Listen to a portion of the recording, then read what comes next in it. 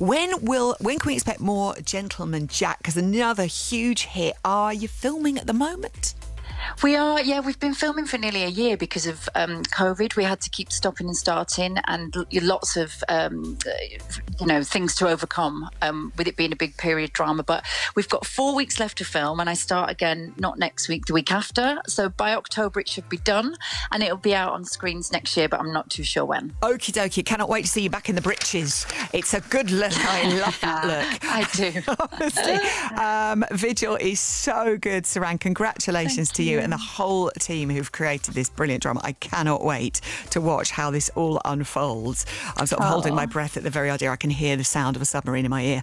Um, It starts on BBC One Sunday night at nine o'clock, and then you'll be able to watch it on the BBC iPlayer. Suranne Jones, take care, darling. Always gorgeous to speak to you. Lovely to see you, and hello to my little boy who's in the kitchen, and I know he's listening. Love. Good morning. Mummy's very clever, isn't she? I bet you're quite clever too. Bless him, sending him all the